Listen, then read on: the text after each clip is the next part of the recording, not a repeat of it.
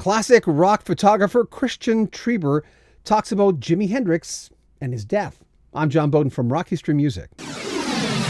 Well, this past weekend, we celebrated the 50th anniversary of that classic outdoor concert, the one and the only Woodstock from August of 1969. I was nine years old at the time, and even though I was 10 hours away, and if I would have been a teenager, maybe I would have tried to go, but you don't know what you don't know. And yes, I was nine years old. But this past weekend, you ever notice there were a lot of tributes? We saw uh, Where Are They Now and, uh, and the classic artists that we have lost since then, and there have been many.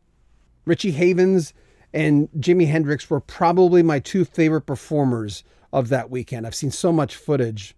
But you know, starting off that show with Richie up there just with his guitar and half his I think his bass player wasn't there. Some of the people were on stage with him, but it's amazing the energy he had and he was really scared. He had said to go up there. But again, it was another excuse for me to think about Jimi Hendrix.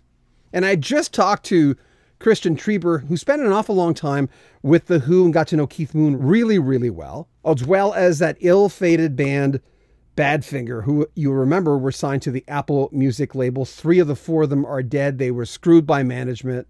It was an awful story, which we'll get into in a future video with Christian.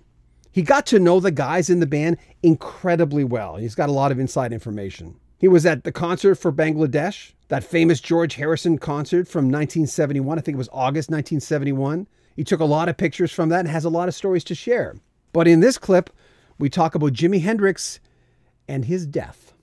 Also, a lot of people aren't aware that Jimi Hendrix, towards the end of his career, was actually moving towards jazz. That's what he wanted to play. And he'd actually recorded tracks with Miles Davis and a number of other musicians. I've been told, and I don't know whether it's true or not, I've never had it verified, but I've been told, and I heard some tracks with Miles, but that that uh, Marshall Chess, who got over the, got a hold of all the recordings and stuff for a period of time before the estate took them back, had erased the tracks with Miles, just kept Jimi's vocals and guitar, and then added other musicians to it and released the album. Really? Which, if it was done to me, would be like defacing the Mona Lisa. Wow. No, I've never heard that, but I did hear he was he was getting into jazz. He was a great guy. I mean, there's no other way to tell it. I mean, I was with him in a cab going down down to Electric Ladyland, and we stopped in front of I think it was called Loew's State Theater at the time, and it was what I call the spasm band, meaning a washtub bass and acoustic guitar and a bunch of up, uh, uh, overturned trash cans and stuff to be played like drums and so forth. And Hendrix stopped the cab, got out, listened to him for a while, got another cab stop, asked them to all get in the back of the cab, took him down to Electric Ladyland and Jay jammed with him to about three o'clock in the morning. I mean, that's the type he was. He really enjoyed jamming. He really enjoyed people. Yeah.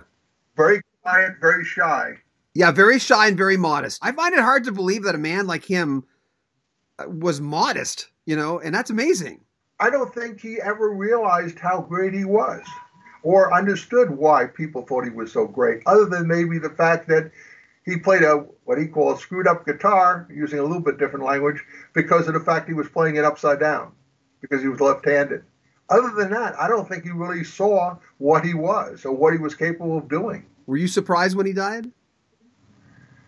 I am only surprised by the fact that so many people still think he died of an overdose, that it was self intaken. And it wasn't the case at all. From what I understood, was that he was always taking, when I talked to him at Ronnie Scott's, he was jamming with Charlie Mingus, and he had said that he was off all drugs.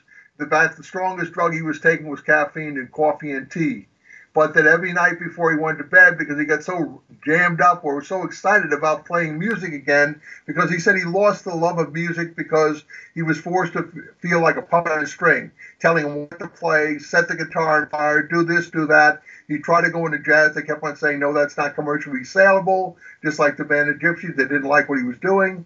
And he basically said he was thinking about quitting the industry, going back States, relaxing, living on the money he had and going out and jamming again and trying to get back the feel of music which he felt he'd lost.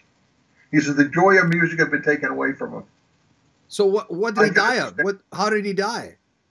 Well, he was taking the sleeping pills and he ran out and his girlfriend from Germany, from what I understand, had sleeping pills, but they were five times the strength. And he normally swallowed three, four pills. He took three, four pills of hers, which was technically 15 times, if you know what I'm saying, because his strength was so much stronger. And he basically vomited in his sleep, and he basically suffocated. Yeah.